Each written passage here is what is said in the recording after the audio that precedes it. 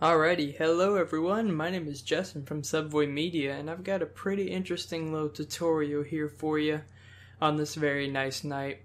Now, uh, I was having an issue with Sony Vegas to where when I tried to import a .mp4 file, it would just import an audio track or two audio tracks because I do a multi-track recording. And uh, that's not all that I had recorded. I actually had recorded about 45 minutes of something and it was all ruined because of this issue.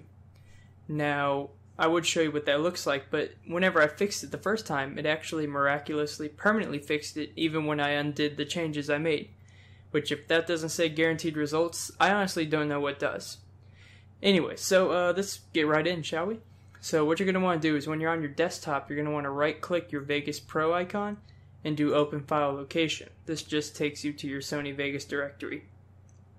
Now, while we're here, you're going to want to find a folder that says uh, File IO Plugins.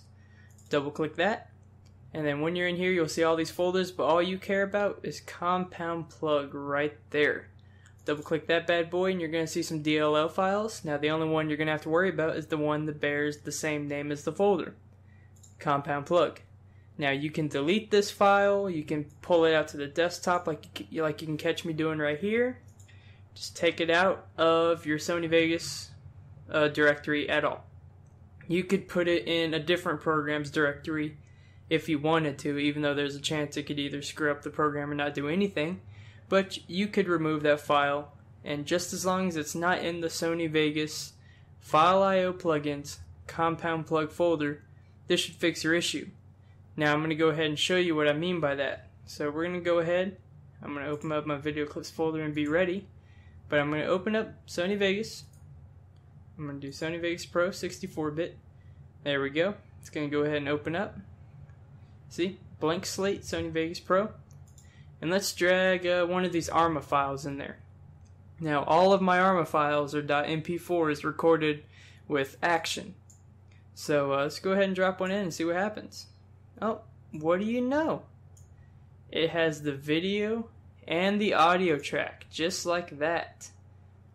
Well, uh, let's just say I'm not getting only audio tracks anymore, and uh, you shouldn't be either after you do this. Now, uh, that's pretty much it. It's a very easy fix, takes about a minute to do, and I've spent the other minute and 43 seconds rambling on. Anyways, I hope this video helps you out, and if it doesn't, you know, just leave a comment. I'll try to see if I can help you out a little bit, because I've been doing a lot of research into this, because it was really getting on my nerves. Anyways, uh, if the video did help you, however, don't forget to leave a like, comment, subscribe. Uh, my name is Justin with Subvoid Media, and we will catch you in the next video.